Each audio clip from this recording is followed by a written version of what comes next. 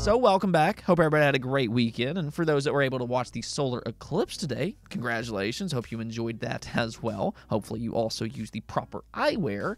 Uh, but as for the world of gaming, a new Xbox development was uncovered over the weekend that may actually speak to some of their future plans and what they have in mind for their next consoles. This is a great sign, if anything else. So, we will get into all of that today, as well as that Pandora's box for Xbox and their games. Yeah, another report came out and indicated that Microsoft is indeed looking to port more games to PlayStation and Nintendo in the future if they pass a certain litmus test.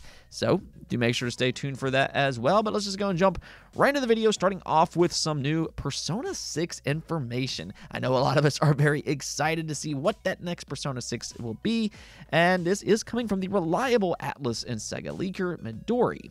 She's been pretty spot on with various different leaks in the past, and she now claims that Persona 6 has been in development since 2019 and started along Persona 3 Remake as well as Persona 5 Tactica. Now, obviously, Persona 6 is a much bigger game than those two, and it's also a brand new experience with new characters, so its development, yes, is going to take longer.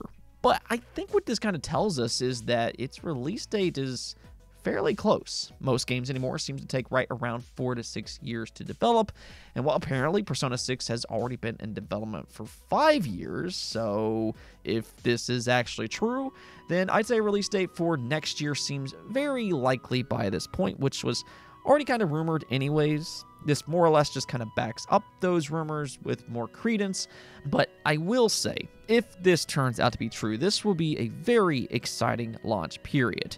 Obviously, we are expecting the Nintendo Switch successor to release next year, and if Persona 6 is completely multi platform as rumored, then it could be a big part of Nintendo's launch lineup. It could release during the first year for the Switch 2, and that not only would be a major game for Nintendo, but it would also be huge for the Persona brand.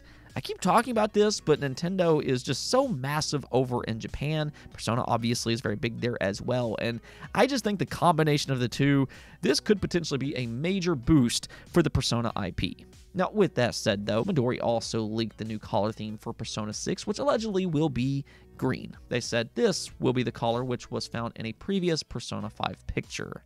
Now, I don't know if this really tells us all that much. I've seen some jokes online that this could mean an Xbox version is confirmed, but, uh, you know, all jokes aside, it's kind of cool to think about how they'll stylize that green collared theme. They've done just such an excellent job with Persona 3, 4, and 5, so yeah, let's bring on green in Persona 6.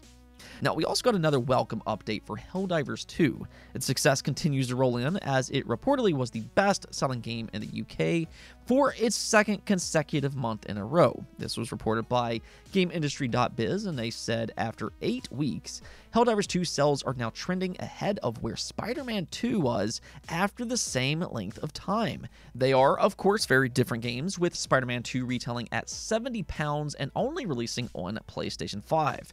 Helldivers 2 has a lower price and is also available on PC. So, Yes, I mean, technically they are correct in their assessment. It's not necessarily an apples to apples comparison just because Helldivers 2 is a cheaper $40 budget title and it's also available on PC. That is all very much true. But at the same time, I think it is important to note here that we are comparing this to one of the world's biggest franchises ever, Spider Man. And that's being compared to a game that even took Sony by surprise. Sony is the publisher for Helldivers 2, and they weren't expecting this type of success. Here we are, and it's now outpacing the biggest PlayStation 5 exclusive. I think that's fairly telling of the type of success that Helldivers 2 is having. Ultimately, though, what does all this really mean, and what's its importance? Well, I think there's a few different takeaways from its results. I think the first of which is something that the entire industry needs to take note of.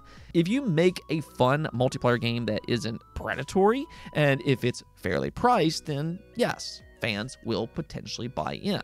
Then the second takeaway, I'd say that's more for PlayStation, and I guarantee that they're looking at this as we speak. Obviously, Helldivers 2 has had a lot of success on PC specifically, and that bodes very well for day and date PC releases, or at least when it comes to PlayStation's live service titles. I mean, we'll see about all of their single player stuff. We haven't really got concrete evidence that they're going to do that quite yet.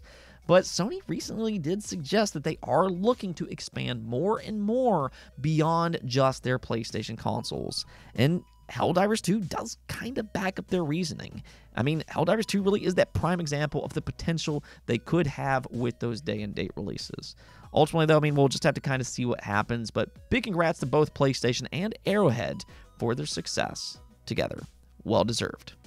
Okay, so let's go talk about Xbox and a project that they're once again reviving for what appears to be for future consoles. I mean, okay, this has been well publicized. We know that they're working on a new console. That's not really a big surprise, despite some of the concern that we've seen this year.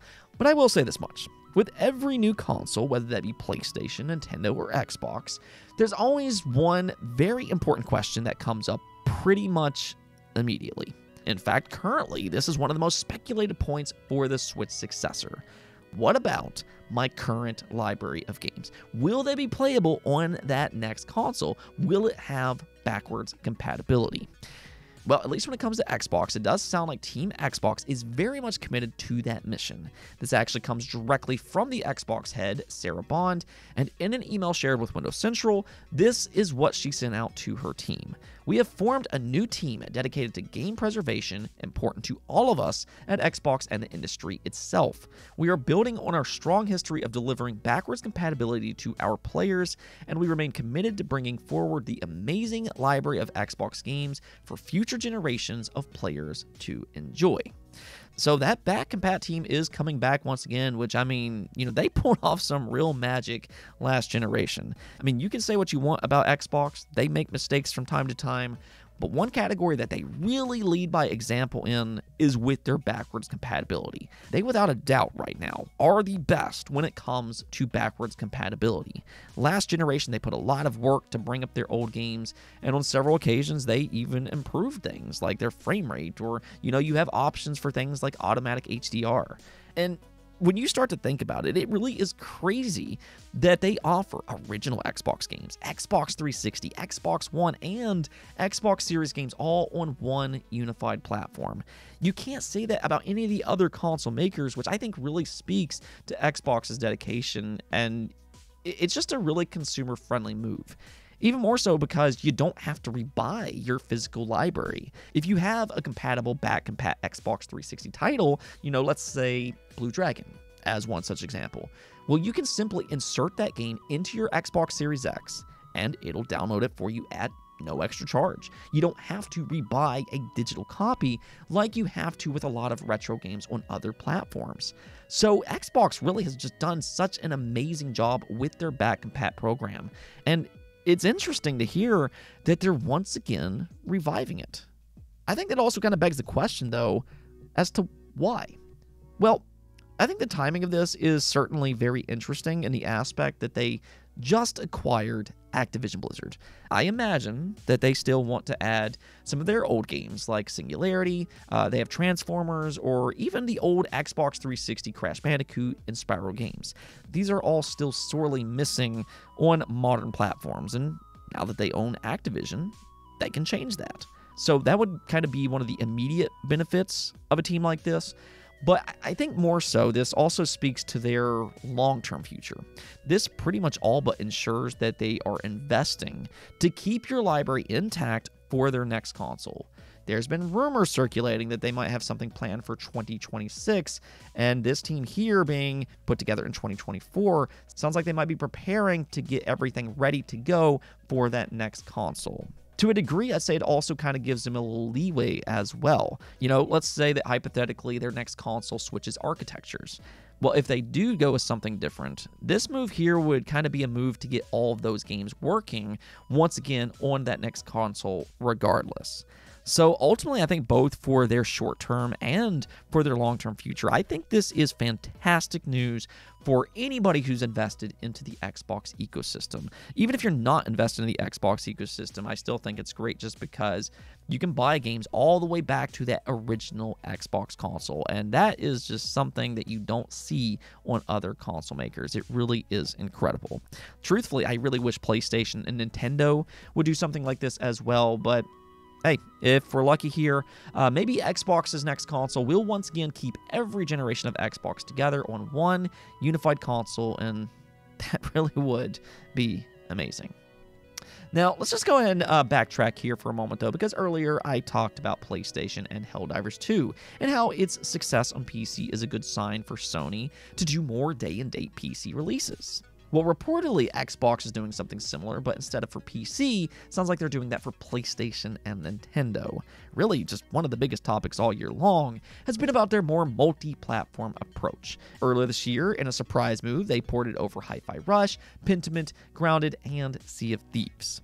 Well, according to The Verge, Sea of Thieves specifically is a very important port. This is what they said. Sources familiar with Microsoft's plans tell me that the company continues to evaluate other Xbox exclusive games coming to PlayStation 5. I understand Sea of Thieves will be a key test for whether other games might make their way to PlayStation 5 or the Nintendo Switch. And reading that, I, I know a lot of people want these rumors to just kind of die, but you know that does kind of you know go back to Pandora's box. We'll come back to that in just a moment.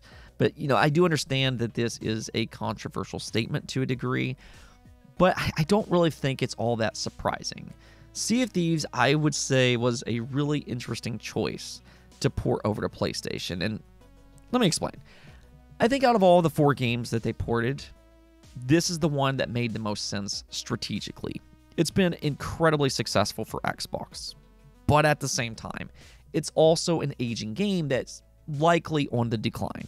I mean, it's now been out for six years. So, you know, they had a choice to either let this game die slowly as an Xbox console exclusive, or they could try to continue that success by breathing new life into it, which is ultimately what they did by porting it over to PlayStation. Now, I do understand that not everybody in the Xbox community loves this plan, but this does actually directly benefit that Sea of Thieves community that is still active on Xbox. Uh, this basically just allows new players to join in, and this could actually extend the life cycle of Sea of Thieves for several more years. So it does benefit this game specifically in that way. Going back to PlayStation though, if it does find success there, then then yes, Microsoft could view that as a good sign for other live service titles as well, which, you know, they certainly have a lot to choose from. I mean, who really knows by this point, though? It, it, it's hard to say, but if a game is five plus years old, like Sea of Thieves, maybe they will. But the first game that immediately came to my mind when I read this was State of Decay 2. That's a game I could see over on PlayStation, and honestly, if they were to do something like that, they could use that for brand recognition as State of Decay 3 is currently in development right now. That could still be exclusive to Xbox, but they could use State of Decay 2 to highlight and promote that for PlayStation players. At the end of the day, though, and, and, this is important to keep in mind, this is only a rumor for the time being. I mean, we just need to see how all this plays out, but, you know, their strategy continues to be a focal point, and whether they like those questions or not. Xbox or Microsoft or whomever decided to make these decisions, they kind of brought this on themselves. They more or less opened up Pandora's box, and that's why we keep seeing these rumors continue to swirl. I mean, last year, if these rumors were going around, we could just say, hey, they're fake. But because Xbox actually has ported over a few games, it's harder to just completely deny. You can't rule anything out by this point. And that's why these these rumors just continue to move the way they are. Anyways, though, that's going to be it for this video, but uh, let me know what you all think about all of this. Do you believe Xbox will port more games over to other consoles? And what do you think about their new back compat program? Does that give you more confidence for their next console or not? Until next time, though, peace out.